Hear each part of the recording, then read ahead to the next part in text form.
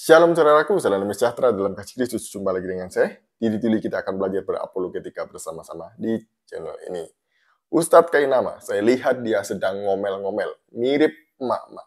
Emak-emak yang sedang ke pasar, bawa uang pas-pasan. Eh, sampai di pasar, harga cabai naik. Jadi dia ngomel-ngomel. Nah, dia ini ngomel-ngomel karena apa sih sebenarnya? Ternyata karena dia nggak terima jika nama Isa Al-Masih di kalender itu diganti dengan Yesus Kristus. Jadi dia nggak terima. Akhirnya ya seperti ini ya. Jangan-jangan ini masih kelanjutan video yang kemarin ya. Yang katanya dia depresi, tekanan berat gitu ya.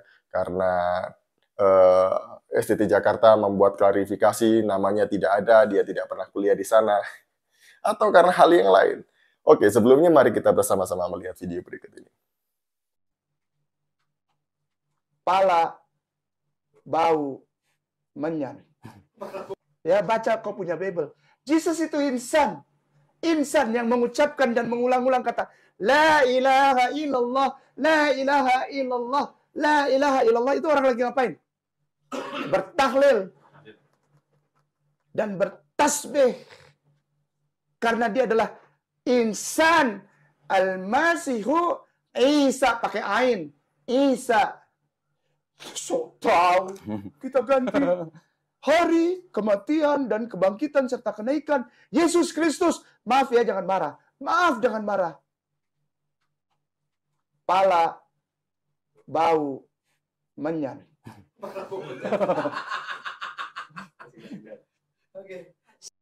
Ustadz kayak nama. Pala bau menyan. Jadi dia ini kan kalau kita lihat itu kayak orang ya begitu tadi itu. Nah, kenapa dia yang ngomel-ngomel? Padahal negara mengakui bahwa Isa di dalam Islam itu berbeda dengan Yesus di dalam kekristenan. Karena memang berbeda. Tapi Ustadz Kainama ngotot bahwa itu sama. Kenapa dia ngotot sama? Karena dia tidak mau jilat lidahnya sendiri. Eh, lidah, ludahnya sendiri. Oke, mari kita bersama-sama membahas apa yang disampaikan oleh Ustadz Kenama tadi itu ya. Jadi, ternyata Yesus itu tahlilan loh di dalam Alkitab. Apa benar Yesus tahlilan? Ataukah yang tahlilan itu adalah Isa Al-Masih yang dipercaya sebagai nabi oleh umat Islam? Mari kita bersama-sama melihat di dalam Alkitab. Tadi Ustadz Kenama mengatakan bahwa Yesus mengatakan La ilaha illallah, ha ilaha illallah. Artinya dia itu sedang tahlil, bertahlil, atau bertasbih kata dia. Ya, oke. Okay. Setahu saya, kalimat La ilaha illallah ini tidak pernah diucapkan oleh Yesus. Di dalam Alkitab perjanjian baru hanya ditemukan satu saja, yaitu di dalam 1 Korintus pasal 8 ayat yang keempat. Jadi kalau Ustadz kayak nama ngomong bahwa ini yang mengatakan la ilaha illallah adalah Yesus, kayaknya dia kehabisan obat dia. Mari kita bersama-sama melihat di dalam 1 Korintus pasal 8 ayat yang keempat. Perlu diketahui ya bahwa ini adalah surat Rasul Paulus kepada jemaat di Korintus. Jadi yang mengatakan ini adalah Rasul Paulus kepada jemaat di Korintus, bukan Yesus Kristus pala bau menyan. Nah ini baru namanya pala bau menyan ya. Mari kita baca bersama-sama. Ayat 4. Tentang hal makan daging, persembahan berhala kita tahu tidak ada berhala di dunia dan tidak ada Allah lain daripada Allah yang esa. Nah, tidak ada Allah lain daripada Allah yang esa. Di sini bahasa Arabnya adalah la ilaha illallah al-ahad. Jadi tidak ada Allah lain selain Allah yang esa. Apakah Allah yang esa yang dimaksud oleh Paulus ini adalah Allah SWT? Bukan. Ini berbeda ya. Jadi jangan menyamanyamakan ya. Katanya Ustadz Kenama ini benci setengah mati sama Paulus. Kenapa sekarang mau ngutip pernyataan Paulus? Ayo, mari kita lanjutkan ayat yang kelima. Sebab Sungguh pun ada apa yang disebut Allah, baik di surga maupun di bumi, dan memang benar ada banyak Allah dan banyak Tuhan yang demikian. Namun bagi kita hanya ada satu Allah saja, yaitu Bapa, yang daripadanya berasal segala sesuatu dan yang untuk dia kita hidup. Dan satu Tuhan saja, yaitu Yesus Kristus, yang olehnya segala sesuatu telah dijadikan dan yang karena dia kita hidup. Nah, ayat yang ke-6 ini menjelaskan semua dari apa yang disampaikan oleh Paulus di ayat yang keempat. Kenapa hanya ada satu Allah yang esa saja?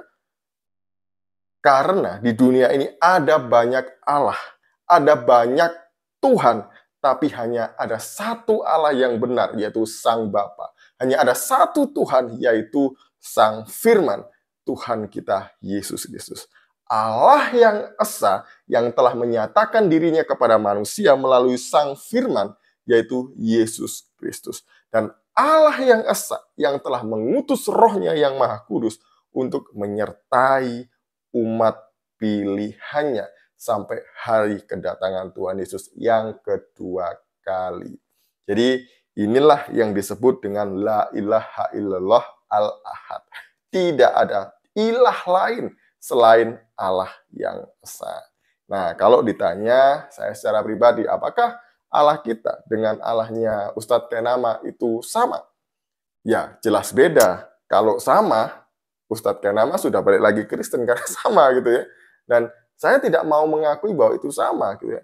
Itu jelas-jelas berbeda dari kitab sucinya saja sudah berbeda.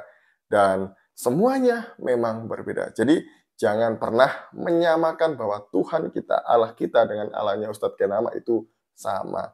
Tidak sama. Nah, dari sini kita tahu ya sebenarnya Ustadz Kenama ini kualitasnya sampai seberapa. Yang ngaku-ngaku S1, STT Jakarta, S2 Leiden, S3 di uh, Haifa, kemudian S4 di Vatikan. Lucu ya. Orang Protestan, pendeta, ngaku kuliah di Vatikan. Ini namanya mendem, mabuk, semir ya ini namanya. Kemudian S5 di luar angkasa, mungkin di planet Mars sana ya. Jadinya seperti ini.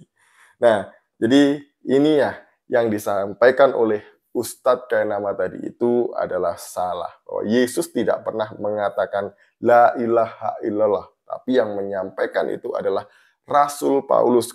Nah, orang Kristen Arab sudah pernah melakukan ini lebih dulu daripada orang Islam. Orang Kristen Arab sudah eh, mengatakan la ilaha illallah terlebih dahulu sebelum orang-orang Islam yang baru ada di abad yang ketujuh. Jadi orang Kristen sudah melakukan atau mengucapkan kalimat la ilaha illallah ini ratusan tahun sebelumnya. Jadi ketika mereka membaca ayat ini, mereka pasti mengucapkan La ilaha illallah al-ahad. Tidak ada ilah selain Allah yang esa. Tidak ada Tuhan selain Allah yang esa. Jadi itu ya. Sekian dari saya. Semoga apa yang disampaikan ini boleh memberkati kita semuanya. Shalom, salam waras. Tuhan Yesus memberkati.